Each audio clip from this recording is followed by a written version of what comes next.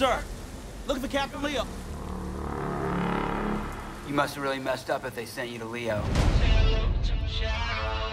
Do you know why you're here? Here because I broke chain of command.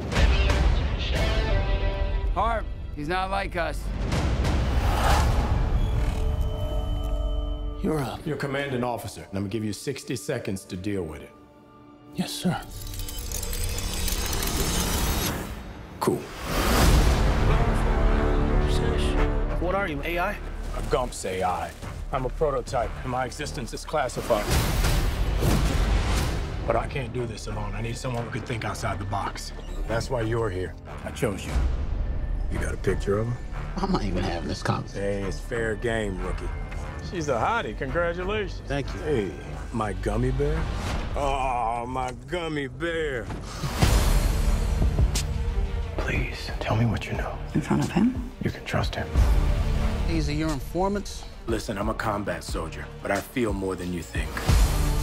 I can't do this with eyes on me. They put your tracker on your back? Sometimes you gotta get dirty to see any real change.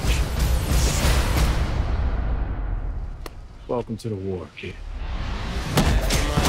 Scared for myself. Get away. This seems a bit beyond protocol for whatever you are. Nothing I can say now. I need you to trust me, Harp.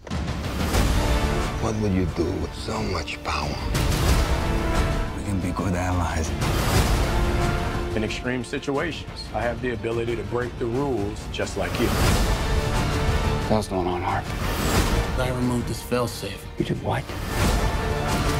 If your war machine turns against you, why should I care? How long do you think you'll survive out here on your own? What are you using me for? Do you trust me?